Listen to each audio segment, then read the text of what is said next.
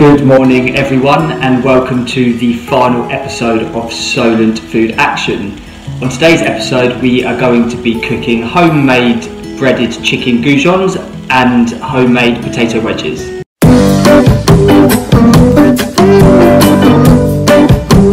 I can appreciate that not everybody has the same equipment and utensils. Just use whatever you can find in the kitchen that will help um, assist you in cooking the food.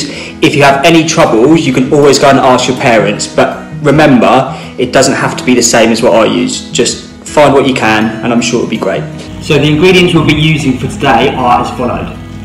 An egg or two depending on how many you're cooking for, some potatoes, breadcrumbs, plain flour, some oil, salt and pepper, and finally some chicken breast. Okay, so before we get started, we're going to preheat our oven. On a fan assisted oven, it will be 220 degrees. If it's on an electric oven, it will be 240 or gas mark 7. Next thing we're going to do is to fill up the kettle and boil it, ready for the potatoes to go in. Okay, so whilst the water is boiling and the oven is warming up, we're going to start preparing the potatoes, ready to turn them into a wedge form. The idea for a potato wedge is to actually keep the skin on. Okay, so by using a sharp knife, I'm going to start by cutting my potato directly in half using a sharp knife. Like such. Remember to keep your fingers away from the blade. Once I've cut them in half, I'm then going to slice them in half again. So now we have four quarters. Now, depending on what size you want your wedges, I would probably advise cutting them down again, like such. Now the thicker the wedges are, the longer it's going to take to cook. So I'm then going to cut them down once more. Also they're a similar size so they cook evenly whilst they're in the oven. If you have them at two dissimilar sizes, what will happen is some will overcook and some will undercook, and that's not what we're hoping for. So, these are the wedges, some of the shape what we're looking for. Okay, so now we've prepared the potato wedges, the next step will be to fill a medium to large saucepan with some boiling water and then continue to boil.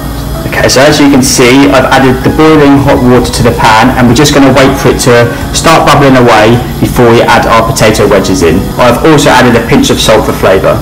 Okay, so now I can see that the water is starting to boil away. I'm then going to add the potato wedges to the boiling hot pan. So be careful and watch any splashback with the water. Okay, so after carefully placing the wedges into the boiling water, I'm then going to continue to boil for 8 minutes. So don't forget to set a timer. So now we can continue preparing the rest of the food. So for the next step, we're going to need three separate bowls. One, two, three. It doesn't really matter what size the bowls are, just grab anything you can find. In bowl number one, we're going to add some flour.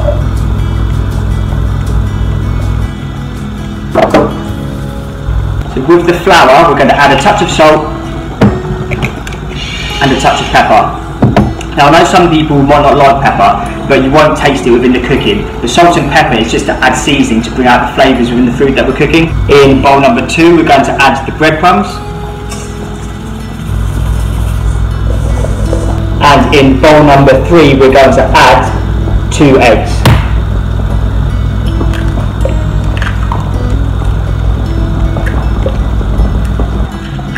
So with the eggs, we're going to give them a good And we're going to move that to one side. And finally, the last thing to prepare will be the chicken. Okay, so we're about to prepare the chicken. Using a sharp knife, what we want to do is to try and split the chicken into two because the aim here is to make all of these fillets the same size. So, we can start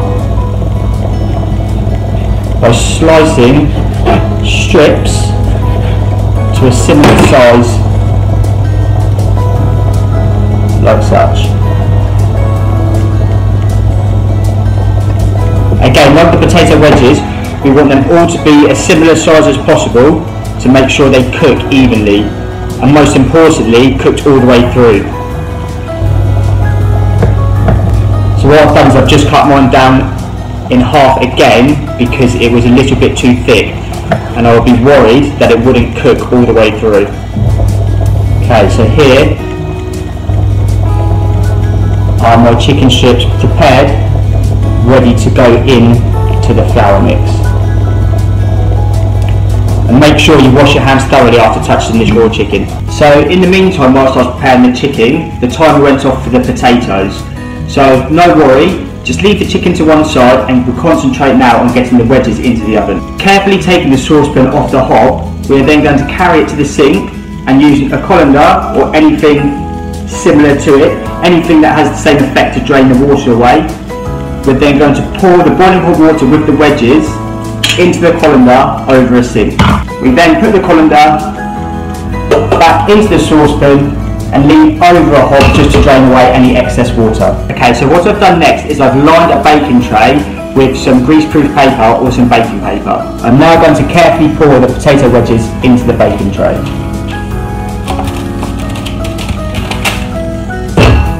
Okay, so wedges are now in the oven tray, ready to go in. And we're going to set the timer for 10 minutes. Okay, so now the wedges are in the oven, is set for 10 minutes, we can now get the chicken goujons into the flour, into the egg mix, and then finally into the breadcrumbs, ready to go in with the wedges after the 10 minutes. Okay, so next thing I did was grab another baking tray and place some baking paper over it. What we're now going to do and start is the process of the chicken into all the different mixes. A good key to have for this is to have one hand that always remains dry and the other hand that is the wet hand which will be used in the egg wash. So, first things first is, with one hand, grabbing one of the chicken fillets and dumping it into the flour. Grab another one if there's space in the bowl. So I'm going to add three into my bowl. And then what I'm going to do is I'm going to give the bowl a little shake. And then using the same hand, I'm then going to press down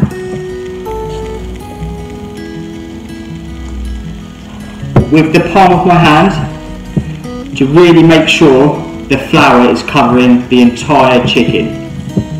I'm then going to give it a bit of a turn and then again press firmly onto the chicken. Okay, so once the flour is completely coated the chicken, one piece at a time, give it a little shake off to get rid of all of the excess flour and then we're going to dump it into the egg wash bowl. And we're going to repeat that with every piece of chicken that we've put into the flour bowl. So again, shake off the excess flour into the egg wash bowl. So again, with the final piece in the bowl, shake off the excess flour into the egg wash bowl. So that hand will remain your dry hand. With the other hand, we're then going to mix the chicken into the egg wash. Once that chicken is covered in the egg, same process as with the flour, we're going to shake off any remaining egg. And then we're going to put it into the breadcrumb bowl. Same again with every piece of chicken.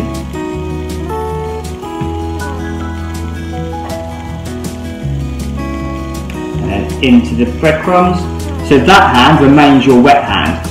So with the dry hand, we're then going to give it a good shake. Make sure the breadcrumbs coat that chicken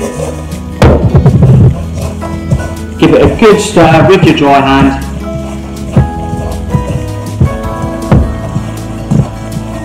Then we're looking for, so again, repeat the process, press firmly with your hand, try and get the entire piece of chicken coated in breadcrumbs.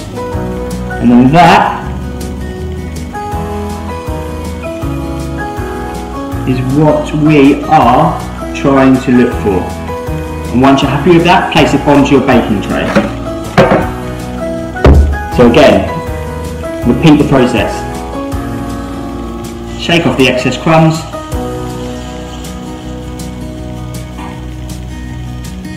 And then place onto your baking tray. Okay, so now they're all out of the bowls, we're then going to start fresh with the rest of the chicken. So, again, with your dry hand, chicken into the flour mix, and then we're going to give them a good coating in the flour, like so, press firmly with your palm, make sure the chicken is completely coated. Again, shake off the excess flour into the egg wash and continue until all of your chicken is out of the flour mix. Now the reason why the chicken goes into the flour first is because it helps the egg stick to the chicken. If you didn't use flour, the egg wash will just want to run off. What it does is it helps it stick to it, ready to go into the breadcrumbs to help bind the breadcrumbs to the chicken. And the reason why we have a dry hand and a wet hand is because if you were to use the wet hand, dipping in and out of the flour and into the breadcrumbs, it will become clumpy and we don't want clumps of flour sticking to the chicken so it's best to try and keep one hand dry, one hand wet if possible. Now the chicken has been covered with the egg. Time has gone off for the potato wedges, bear with me. So I've just checked on the potato wedges after 10 minutes and they're not quite where I want them to be. So I've popped them back into the oven at the same temperature for another five minutes. Okay, so this gives me time to finish off the chicken. Chicken's been in the egg wash, shaken off all the excess egg, each piece of chicken and then into the breadcrumbs. So with the dry hand, give them a good shake in the bowl, make sure you coated well in the breadcrumbs, and then use your hand again to just mix them up, turn them over, throw them around, Give them a good press with your palm and then ready to place onto the baking.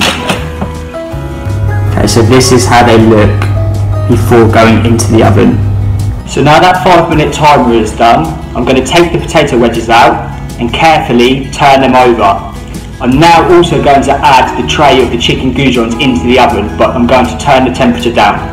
I'm going to turn it down to 190 degrees on a fan oven which would be 200 on a gas oven, which will be gas mark 6. On this temperature, I'm going to continue to cook these for a further 20 minutes, turning the goujons over after 10 minutes. So I've just realised I didn't use the oil, but I made a decision that I think the goujons will be fine without a drizzle of oil over the top of them. However, if you'd rather, you can carefully pour drizzle oil, whether it's olive oil, sunflower oil, vegetable oil, just over the top of it, but I've decided not to go with it. Okay, so whilst the food is in the oven, now would be a good time to clear up all that mess that you've made in the kitchen. Remember what they say, a clean workspace is a happy workspace. And also, by having a clean area all the time, it just stops bacteria spreading and potentially contaminating your food. Patiently waiting for the food. I'm so hungry. Okay, so the food's done. Let's get it out and take a look. Okay guys, look at that. Lovely, crispy chicken goujon. That's what we're aiming to have it look like. Okay guys, so there's the finished product. Potato wedges and chicken goujons. Okay, so just some things to remember before we finish this is that all ovens cook at different temperatures. So the timings and the temperatures that I've given you are just guidelines. Um, I constantly check on the food just to make sure nothing's burning. So you can always just open the oven, have a quick peep inside, and if you think the chips are burning, you can take them out or you can reduce the temperature. But the guidelines that I've given you have worked perfectly for me today. Before showing you the plate of food, I cut into the thickest piece of chicken just to make sure that had thoroughly cooked through, which it had meaning that everything else would have cooked as it should. In addition to what we've cooked, if you want to have some baked beans with it, that will go very well. Some peas with vegetables, that will also go well. If you just rather it is how it is, then completely up to you. Okay, so that's it for me today, guys. I hope that video has been helpful. I hope you go on to produce your own lovely, delicious food, and maybe see you again soon. Enjoy.